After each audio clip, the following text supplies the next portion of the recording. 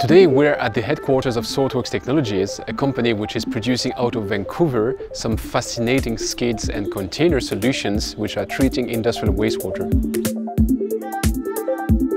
I guess you might all be using mobile phones, but do you know where the lithium from the battery comes from? Actually, most of the time it is salars or salt lakes, but more and more you'll see that lithium coming from facilities like the one behind me, because you can actually recover lithium from brines, which are the byproduct of reverse osmosis. And that is just so cool to think that what used to be a waste can now be powering the everyday products we have in our lives.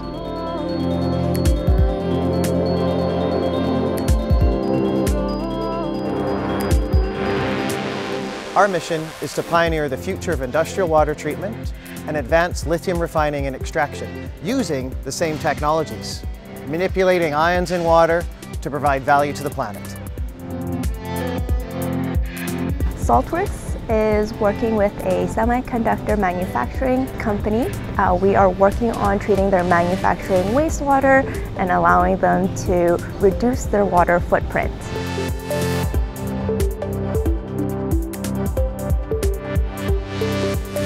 Saltworks solves two problems using the same technology.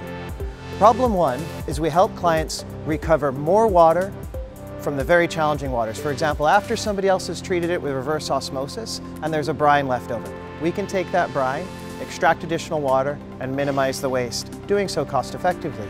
But then using that same kit, manipulating ions in water, we can extract lithium and turn it into a product of value. Cobalt and nickel are other examples.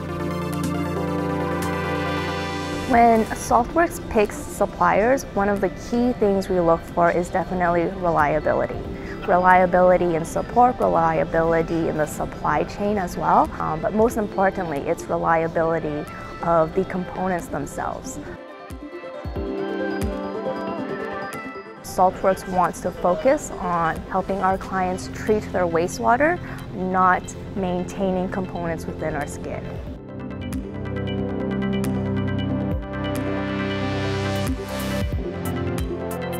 The products that Saltworks is, is using with us right now are largely in the vinyls category, so valves, fittings, pipe. A few instruments and some automation with automated valves, uh, but that's the extent of it to date. We have a long history of helping wastewater treatment and of being on both municipal and industrial side of the story. And more and more we want to be supporting these kind of companies which are doing resource recovery that might be phosphorus recovery, that might be nitrogen recovery, and that can be like here, precious metal recovery and lithium production. Working with GF has been a partnership, if you will, that helps us come up with solutions to problems um, rather than just being just a supplier.